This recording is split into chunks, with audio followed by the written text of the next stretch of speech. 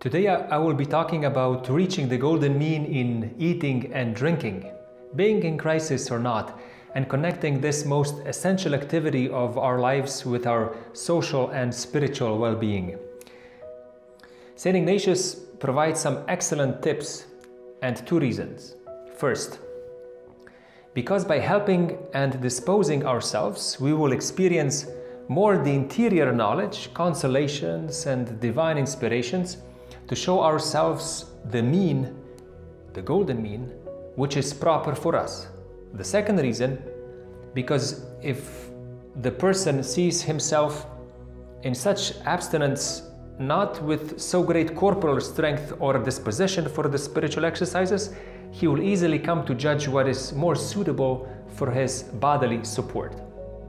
To avoid this order, which is practically the main aim of spiritual exercises, it is very helpful after dinner or after supper or at another hour when one feels no appetite for eating to decide with oneself for the coming dinner or supper and so on each day the quantity which it is suitable that he should eat.